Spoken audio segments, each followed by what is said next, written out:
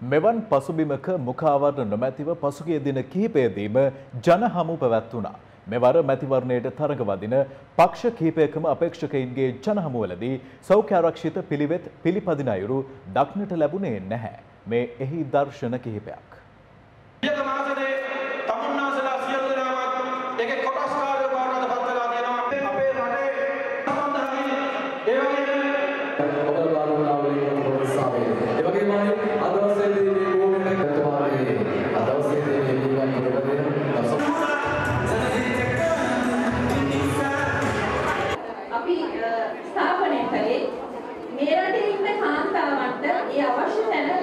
ලබා දීලා විශේෂයෙන්ම අපි ලංකාව දිහා බැලුවොත් අපලට තමන්ගේ සැමියාට තමන්ට පුළුවන්කම තියෙනවා අපේ සමගි වනිතා බලවේග.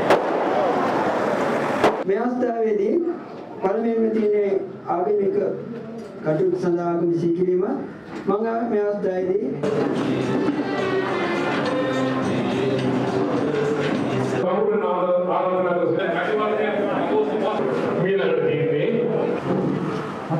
සහ ගෞරවයෙන් ඔබතුමන්ව අගරත ජනතාව වෙනුවෙන් තියෙන නිසා සංවර්ධන සංවර්ධන යෝජනා පිළිබඳව මේ රජය කොල්ලන්න මේ වෙනකොට